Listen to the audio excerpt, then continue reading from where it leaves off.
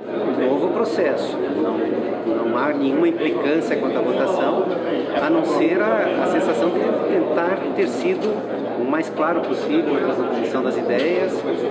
Eu fiz o que pude sempre para fazer o melhor direito como juiz, fiz o que pude para estudar o melhor possível os casos que tinha em julgamento e, ao que parece, os senadores da Comissão de Constituição e Justiça concordaram com isso. É uma alegria, mas o plenário à tarde é um novo processo.